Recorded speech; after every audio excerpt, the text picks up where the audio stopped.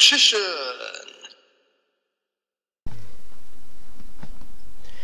Hey YouTube, Magician of uh, 84 here, I nearly said of Team Sorcerers.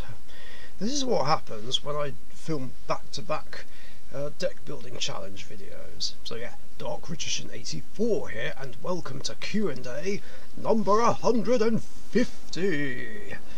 Yes, can you believe that it's been pretty much a year now since uh, since the 100th episode. I mean, give it another year or so, and uh, we'll reach 200.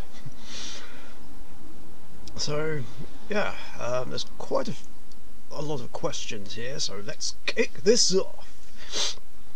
Uh, the one and only question, which is the first question, is from John Cross. What are your thoughts on number 107 Galaxy Eyes Tachyon Dragon?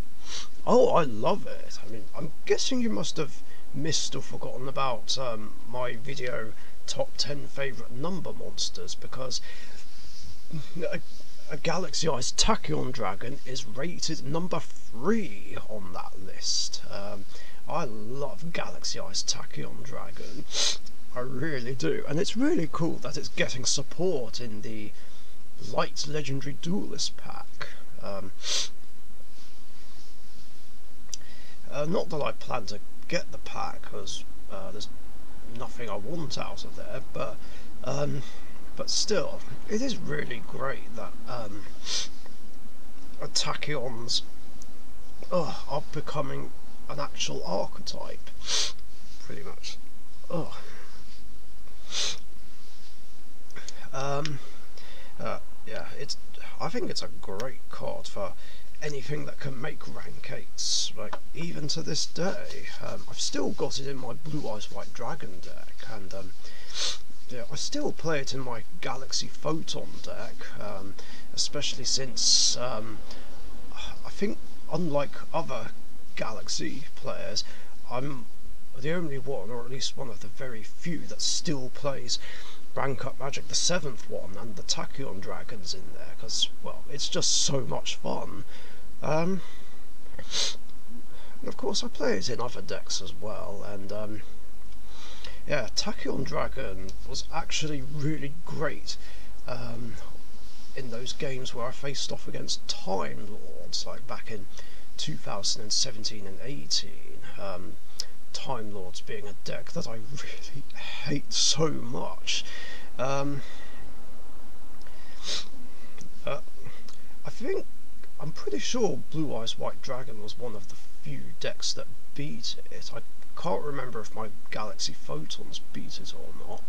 Uh, but Tachyon was a great help against those because I could just use the effect, seal off the effects of those Time Lords, and just attack right through them and destroy one of them. It was so awesome. Um, sure, I could only do it twice, but still, um, uh, it was just really great. Um, now, I did also plan to play this card, uh, Neo Galaxy Eyes Tachyon Dragon and Rank Up Magic the 7th one in my Dark Magician deck, or at least I did try it out for a while, but never got to pull it off. Um, it made sense though, because um, obviously if I if if I play Circle and seventh one is among um, any of those cards, I can just make sure that it's stacked on top. Um, I think someone else did come up with this idea as well. Um, can't remember who it was though, but um, yeah, it didn't work out. Um, never kept it in. Um, uh, oh well. Uh, it's worth a try um, in the creative spirit of things. Next questions are from Gungner. Joe. My name's not Joe. I'm just kidding, I knew what you meant. 1. Did the Purrely cards for Emma arrive safely? Um, I was a bit thrown off by at this question and what you said in our chat, I was like, wait, you sent me some cards? Um, but yeah, even though I already said it, um, I'll just say it again. Thank you so much. Um, I'm trying to work out how I can repay you. Um, no, they haven't arrived yet. Um, but I'm sure they will, like within a week, uh, which will be perfect, as um, yeah, it'll be just before I go over there again to see her. Um, but yeah, um, that is great. Thank you so much. Uh, we really appreciate it. Um, we still need to work out something for um, Gragonith, um, the Lightsworn monster, because we're still looking for a playset of those. Um, two, will you play Silhouhatte Rabbit in Dark Magician together with his trap? This also threw me off because I didn't know who the hell you were talking about. Um, uh, then I eventually uh, figured out who you were talking about. I was like, ah, that um, illusion link monster. So I'm just going to turn my fan on. I'm really, really hot. Um, it's been too hot today. Um, anyway, um, so yeah, I did look at them, and I think they're really cool. Although I wasn't planning to play them in Dark Magician because, well, uh, I need the room for other things, and I don't have any illusion monsters um, in the deck. Um, uh, I'll consider it though. But, um, yeah, these are really awesome cards. Um, gotta love the illusion archetype. Um, I've also just realised it's been a year since we got it. Um, wait, why did I say archetype? I meant monster type. Um, but what's even crazier than that is that it's been 10 years since pendulums came into the game. where's the time gone? I am not okay with this.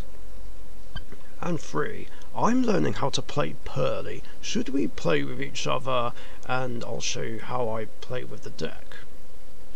Yeah, I mean, I guess we could do that. I mean, I feel like I've kind of got the hang of it now. Um, uh, but um, but it doesn't hurt to keep practicing and um, just refresh my memory so that that way I can then in turn teach Emma how to play them. Um, although playing under Richician format would be preferable. Um, because uh, like I keep saying, I really, really don't want to play the normal current format anymore.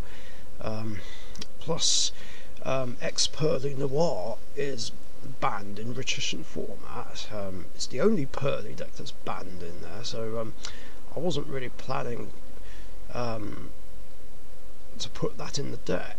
Um, you know, and have us play with that card, but um, I mean, I guess it doesn't matter really what format we'd play it under. Um, I mean, I can uh, play against yours under the normal current format, but I really don't want to. Um, but um, if this is a good way to help me repay you for sending uh, sending us those cards, then so be it. I'll do it. Um,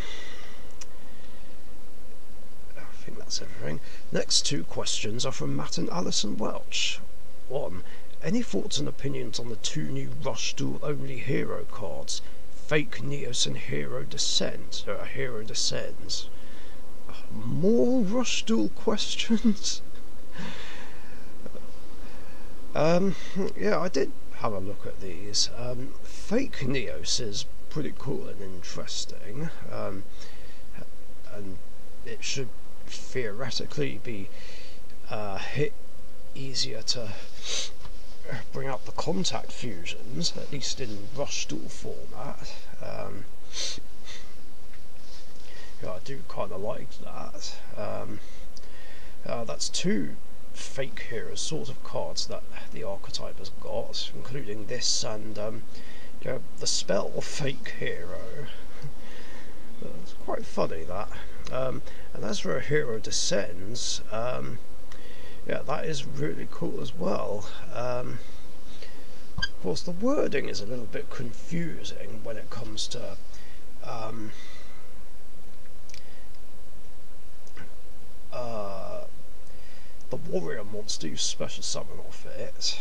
Um, I don't know whether the part about levels is applied to just that monster or whether it applies to um, all of the monsters that are being special summoned off its effect. Um, I need to bring it up again. So here we are, this is the card. Um, it states special summon up to two Neo-Spacian uh, Aquadolphin, Neo-Spacian Flare Scarab, slash warrior type normal monsters whose total levels equal 7 or less um, from your graveyard to your field in face up defense position. You can only attack with warrior type monsters this turn. See, that's the part that confuses me, whose total levels equal 7 or less. Um, so, does that mean that the warrior um, itself has to be level 7 or less? Or does it mean that Aquadolphin, Flare, Scarab and the warrior has to be has to add up to 7? I feel like it's just the warrior type normal monster that has to be 7 or less, because otherwise that wouldn't make any sense, and as far as I'm aware there's no um, level 1 normal warrior type monster. Um, otherwise that would add up to 7. I'm curious actually. Um, is there a normal level 1 monster that's a warrior?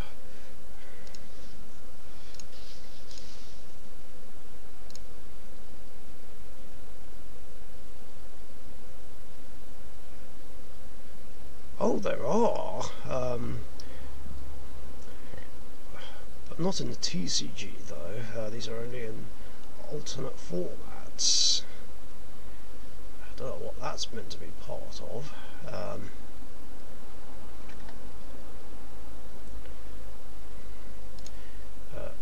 Yeah, I, I think um, it's the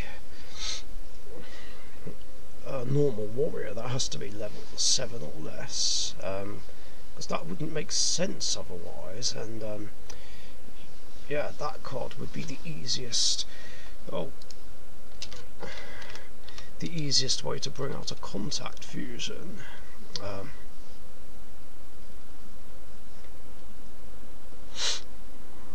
yeah. Uh, yeah, it's that's really great. Um, I mean, they don't need to be in the graveyard somehow, but still, I'm sure there's ways to do it. Two, out of all the hero cards in the entire hero archetype, which one do you think is the most underrated but fun to use? Honestly, I would say Elemental Hero Knospe. Um, I've had a lot of fun with that card. Um, and it's one of the few that's just underappreciated. Um, which is basically why I created my plant hero deck back in 2010 um, because I wanted a hero deck based on um, a Knospe and Poison Rose and wanted to play some generic plant support. Um, which of course wasn't great to start off with, but um, it's just phenomenal now. Um, uh, yeah, Plant Hero is a lot of fun, and um, Knospe is a lot of fun as well. Um,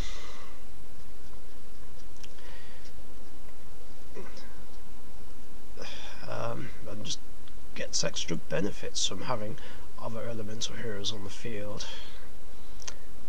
It makes me miss my plant hero deck sometimes, but at least I've still got it online. and the last 10 questions are from Super Ultra Hero 9961. Uh, hello my friend, how are you doing? Surviving in this blistering heat, if you call 29 degrees blistering, it's just been too hot today, way too hot, but I'm okay otherwise. Hope you're doing well. Um, and same with all you guys as well. I have some more cool questions for you, and sorry for the misspelling too. I have trouble spelling. Um, I I don't remember any spelling mistakes um, specifically. Um, uh, just autocorrect. Um, like some words seem to replace what you were meant to say, um, uh, which just really threw me off. But either way, it's all good. Um, hell, there's even some words I still have trouble spelling as well, and even saying. So it's it's all good. Um, Alright, here's my questions. 1. Did you know the actor of Iron Man is coming back to play as Doctor Doom? Ah, that would be Robert Downey Jr. Yes, I did know that. Uh, I randomly found this out the other day. I was like, say, what? Um, I mean, I did hear he was returning to the MCU somehow. Uh, thought maybe Iron Man might be coming back to life somehow, but um, I guess that's not the case. Um, uh, and that's, yeah, that is a surprise. Um, a pleasant surprise, though. Um,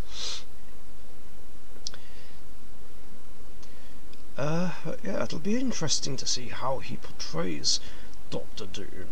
Um, for sure.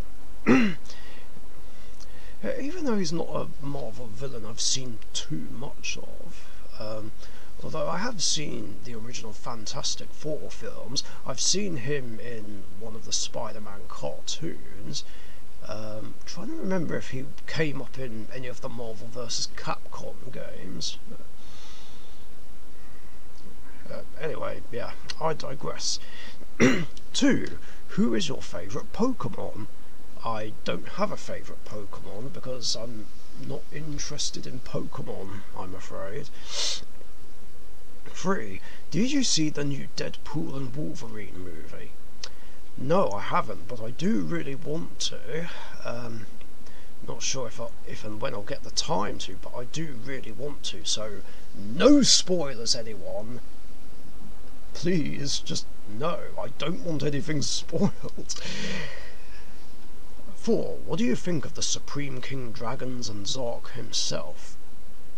They're awesome and uh, are pretty fun to play. I mean, I do have a Supreme King deck online, and I did have one in real life at some point before I sold it. Um, but now with the support they got in Age of Overlord, they're a bit too good. Like even if it's just on their own. Um, yeah, they're just way too overpowered and overwhelming. Um, so I actually banned the whole archetype in Richician format. Um, although maybe I should uh, look over it and uh, see if I could neutralise it a bit. As for Z-ARC himself, um, yeah, a very cool card, uh, very strong, um, definitely now. Um, I, of course, it wasn't that easy to bring out before, um, and I was trying to think if there was a way to get him out more easily. Um, I even asked Weber's Five if there was a way it could be done, but um, for his Q and A, but I forgot what he said. Um, uh, I don't know. Maybe they'll come back in my format, but I don't know. 5, would you ever play a third copy of uh, Shining Flare Wingman in the side deck? I mean, I probably could, um, considering uh, my side deck for Elemental Heroes uh, is intended to have all the classic anime fusions that I don't have room for uh, in my actual fusion deck slash extra deck. Um, that being said, um, as much as I love Shining Flare Wingman, I'm not really sure a third one's necessary. Um, because uh, two seems perfectly fine to me. Um, some could argue that one's all that's needed, uh, and then there's the fact that most of the time I only bring out one copy anyway, but I like having the option of two at least, because it, it is meant to be the ace monster of my elemental hero deck.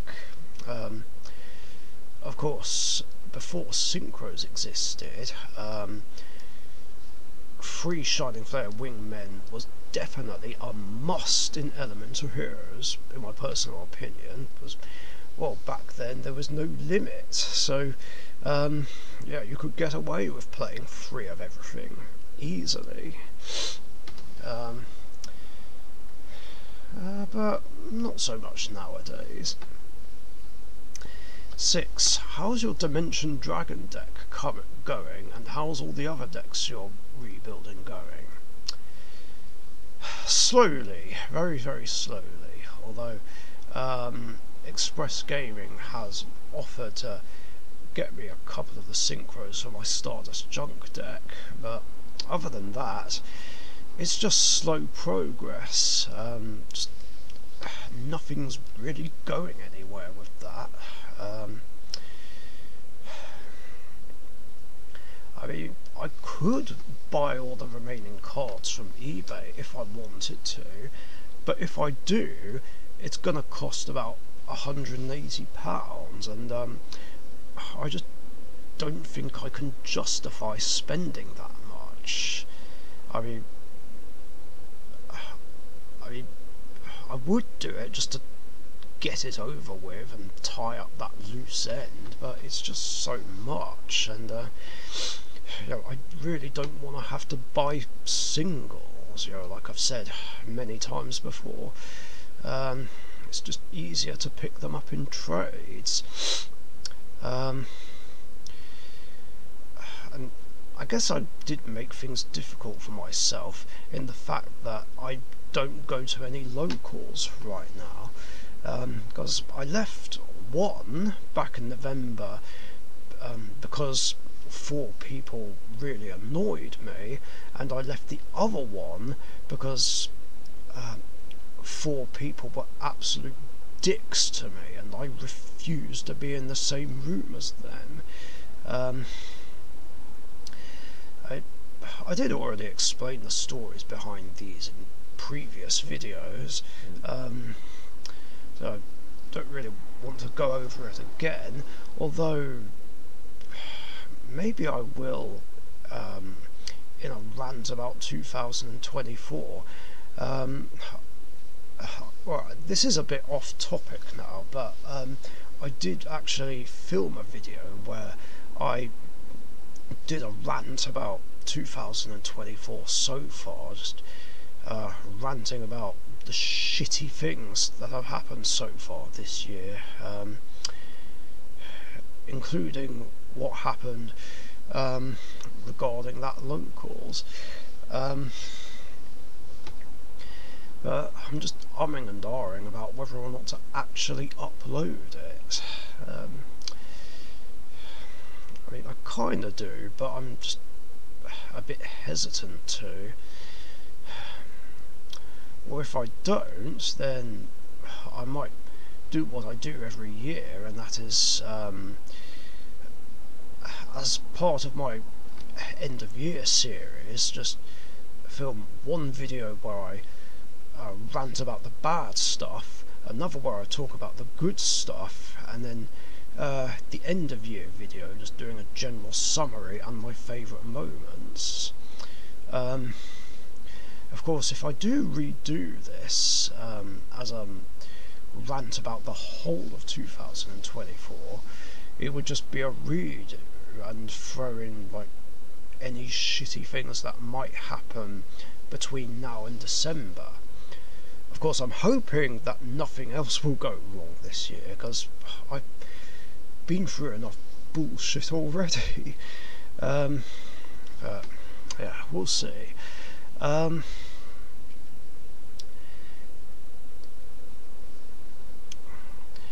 now, um, with this being said, I am considering actually going back to Dead Universe Comics for Wednesday night gaming because um, well it would make it a bit easier to do trading and maybe potentially sell my nouvelle and vampire decks um, as I would very much like to sell those.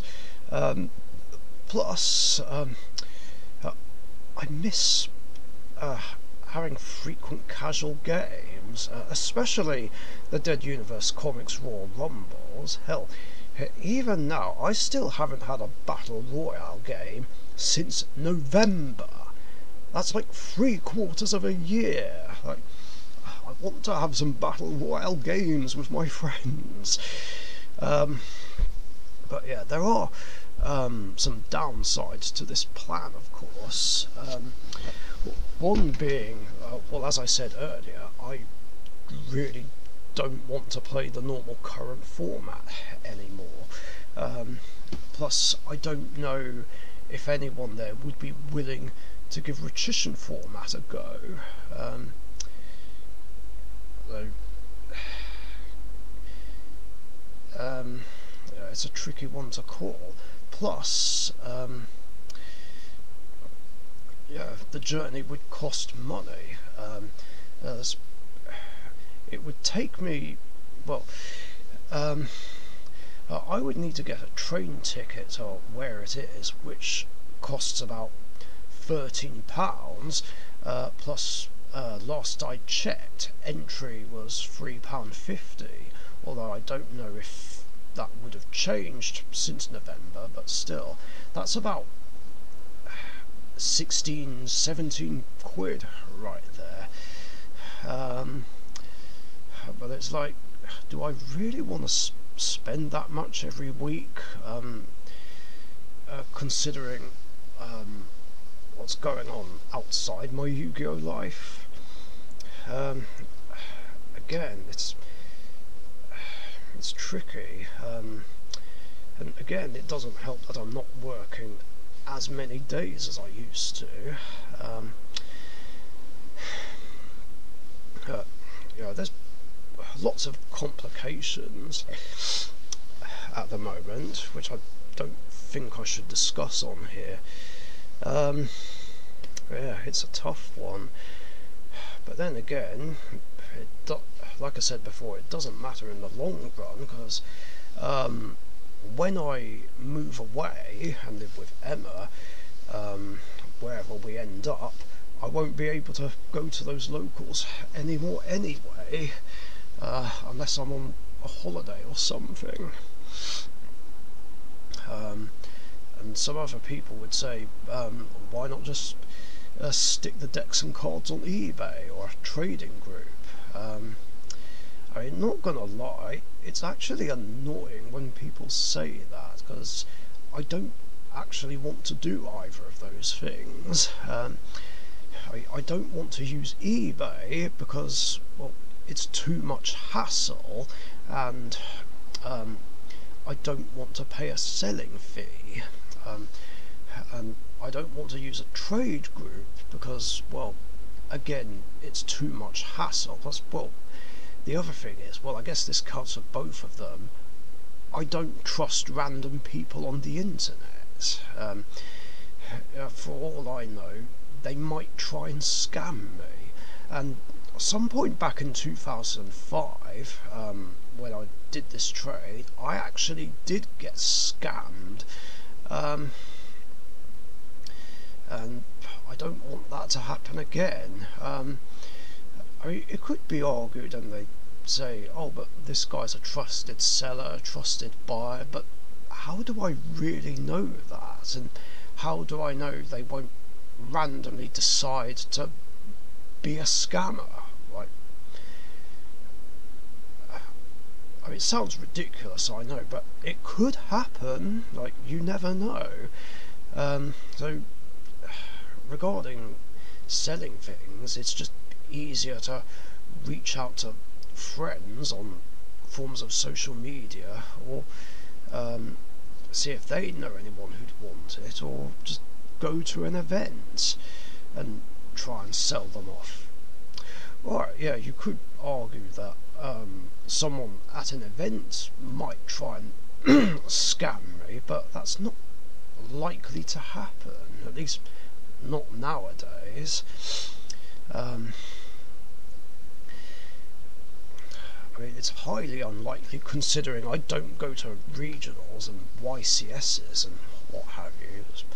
Well, I don't care for those things. Um, uh, so, yeah, it is slow, annoying progress putting these decks together. Um, oh, one other thing. I don't know what Express Gaming's obsession is with me keeping the Nouvelle deck.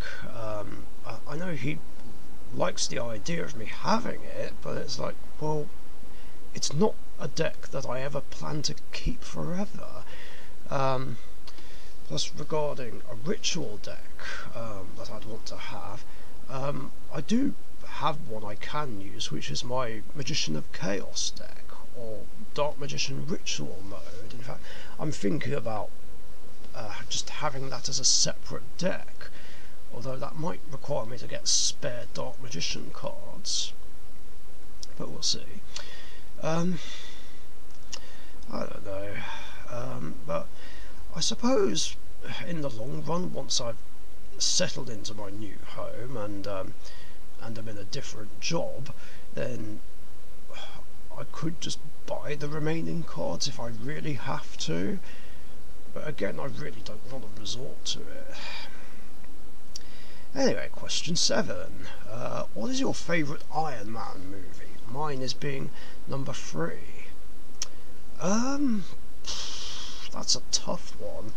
It, it's a toss-up between the first one and the second one. Um, I the first one just because, well, I like the overall storyline um, of how uh, Tony became Iron Man um, uh, along with the fact that it's one of the very first uh, MCU movies ever released. Uh, the other one being The Incredible Hulk, which I haven't actually seen. Um, so I do want to see that and Captain Marvel, because um, they're the only two uh, MCU movies that I've not seen, like before Avengers Endgame and I must admit I'm really behind on all the movies. I mean, the, latest one I saw was Spider-Man: No Way Home, um, and I've noticed a whole bunch of other Marvel movies coming up, including another Avengers movie. So I need to find a way to catch up and catch up big time. Um, but anyway, um, I also like the second one because. Um, well, it has, um, because this is where Tony made that really nice upgrade, and and was also when Tony and Pepper Potts uh, seemed to become an item. Um, yeah, I'm pretty sure it was this movie which their first kiss happened. Um, yeah, it's it's a really yeah, it's a difficult choice between the first two. 8. What was the most epic moment with Shining Flare Wingman in a duel where you summoned it? Ooh, I would say that would have to be the request duel which Neo Nexus made a long time ago, where he requested Elemental Heroes versus Evil Heroes. Um, and uh, my friend Timby was using my evil heroes, and he did overwhelm me with two copies of Malicious Fiend, but I was able to bring out Shining Flare Wingman, make a comeback, and uh, attack the both of them and go for the win. Like, obviously, over the course of two turns, like, I didn't have a way for us to attack twice, uh, but yeah, that that's the most epic moment with Shining Flare Wingman that sticks in my mind. Uh, 9. Are you going to put three copies of Odd Eyes Pendulum Dragon in your Dimension Dragon deck? No. Um, uh, I was only planning to play just two. Um, I mean, despite what I said about Odd Eyes Pendulum Dragon before, I think two is okay. Because, um, well, I need the room for other things. Um, maybe I'll consider a third, but I don't really see the need for it really. I mean, the plan was to play just two copies each of all four of the Dimension Dragons. But like I said, I'll consider playing a third copy of Odd Pendulum Dragon. And finally, question 10. Are you going to put Rune Pendulum Dragon in your Dimension Dragon deck? I was going to say no, because um, it's not in my online build, but then I thought, actually, wait, um, because the extra deck limit is 20 in my format, I actually could play Rune Eyes Pendulum Dragon again if I wanted to, because to be fair, I do really like Rune Eyes, it's really, really awesome, um, and there's a fond memory from last year where that card actually helped me win against uh, Lightsworns, um, and it particularly helped against a Cyberse Quantum Dragon because Eyes was unaffected for the turn. But yeah, I do have some spellcasters obviously in my Dimension Dragon deck, so um, you know, Rune Eyes could uh, be a low-key viable option. Um, I mean, of course, it would be even better if I uh, used it with, um, not Wisdom Eye, um, Odd Eyes Dissolver. I'll definitely give that a go. I might also consider uh, the other fusions, um, like Beast Eyes, unless I've got it in there already, and uh, even Brave Eyes, um, although that requires a warrior, and I actually don't remember if I've got a warrior type monster in my Dimension Dragon deck. I don't think I do, but I'll just double check.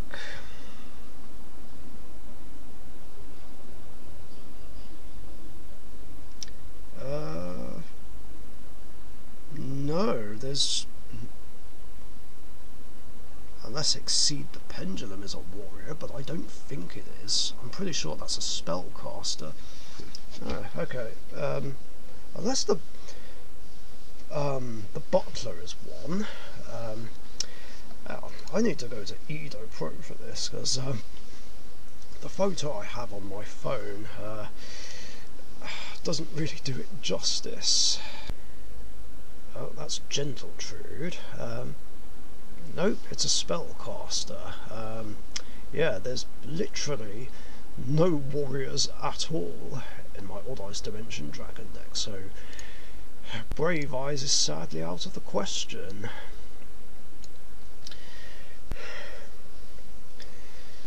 Uh, well, in any case, I will give Rune Eyes Pendulum Dragon a go now you've brought it up. Uh, thanks for the suggestion. Um, thank you for answering my questions. Have a nice day. Ultra Hero out. Goodbye, my friend. Um, no problem. Uh, thank you, and I hope you have a nice day too. And that is it for questions in this episode. Thank you very much for your guys' questions. Very awesome ones as always. And if you've got any other questions you want to ask me, post them in the comments section down below. And remember, I do these episodes every Tuesday afternoon or evening, UK time. So be sure to get your questions in before then so that you don't miss out. Thanks again, stay safe, and I'll catch you guys later. See ya. Thank you very much for watching. Be sure to subscribe to the Dark YouTube channel.